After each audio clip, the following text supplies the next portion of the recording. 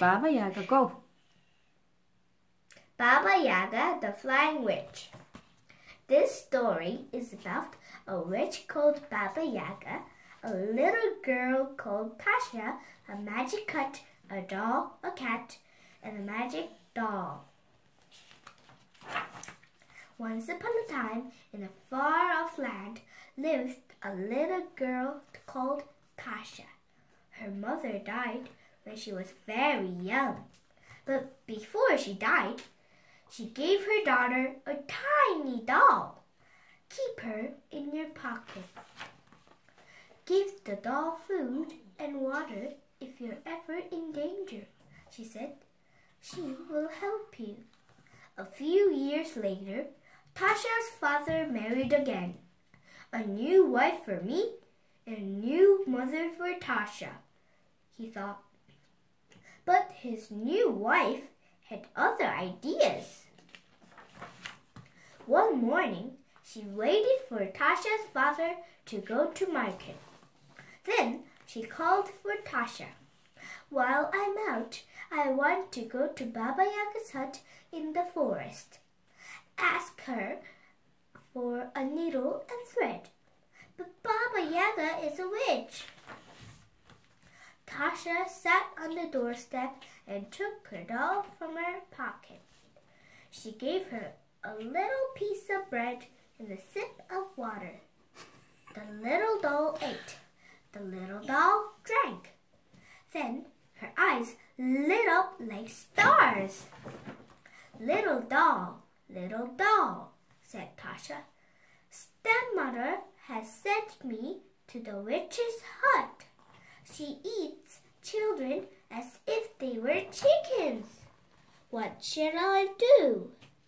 Take some bread for Baba Yaga's dog, said the doll, and some ham for Baba Yaga's cat. Do not fear, I will protect you. Tasha packed the ham and bread. Then she set out through the deep, dark forest. Soon a wild wind began to blow. Oh no. The trees squeaked, their branches groaned. Tasha looked up and saw Baba Yaga zooming through the forest in a flying pot.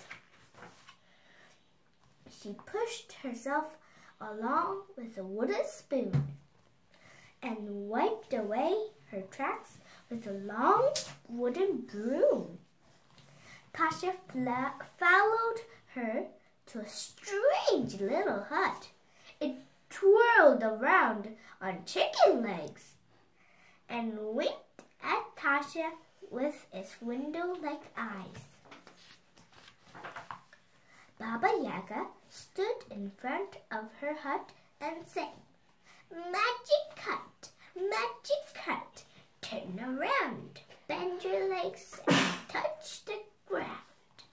The magic cut spun around on his body, bunny legs, Bony. bony legs, and replied, I can dance, I can see, a little girl in front of me.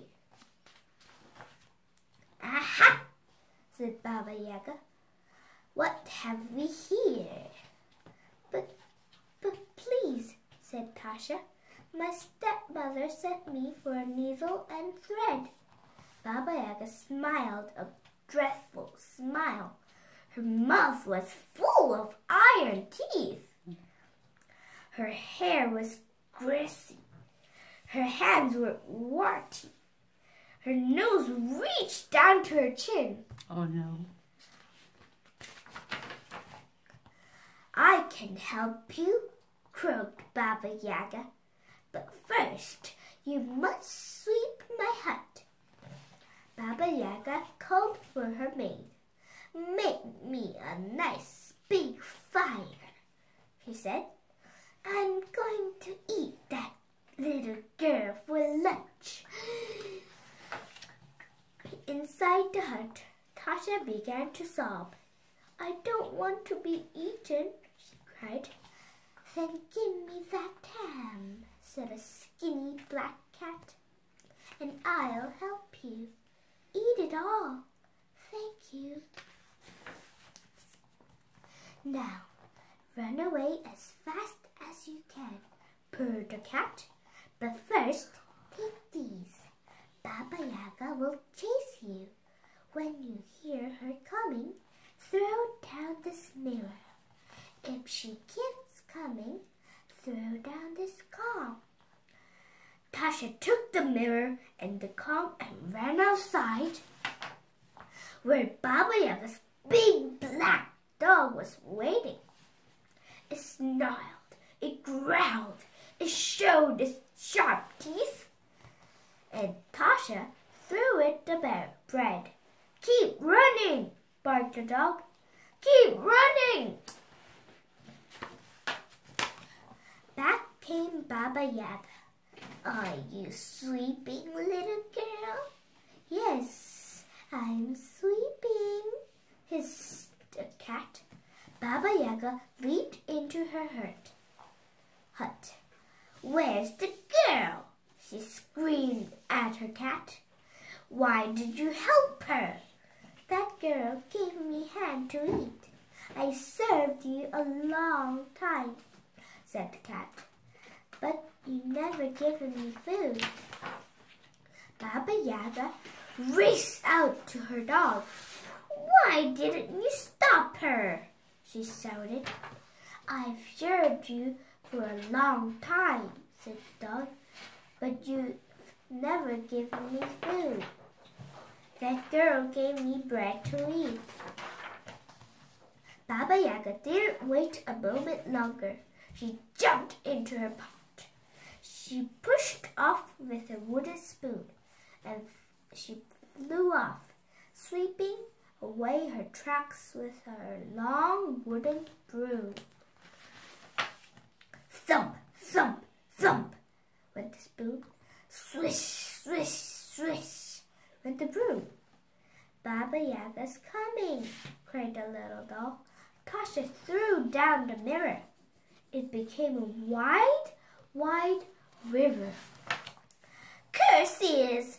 cried Baba Yaga. She bent her bon bony body and drank and drank and drank. Soon there wasn't a drop of water left. Then once again Tasha heard the thumping spoon and swishing broom. Baba Yaga's coming, cried the little doll. Tasha threw down the comb. A huge mountain sprang up behind her. Curses! cried Baba Yaga. She began to chew through the mountain. But her iron teeth were rusty from drinking the wide, wide river. Once by one, One by one. one by one, her iron teeth snapped. Ugh. Curses, said Baba Yaga. I can't fly over the mountain. I'll have to go back. With a thump, thump, thump, and a swish, swish, swish, Baba Yaga stepped back to her magic hut. Tasha didn't stop running until she reached home. Her father rushed out to meet her.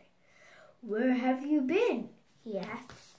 Stepmother sent me to Baba Yaga's hut, said Tasha, and the witch tried to me, eat me. then it's time your stepmother left, said her father, and she threw her out of the house. Oh! She was never even seen again the end. Mm, thanks. Bye.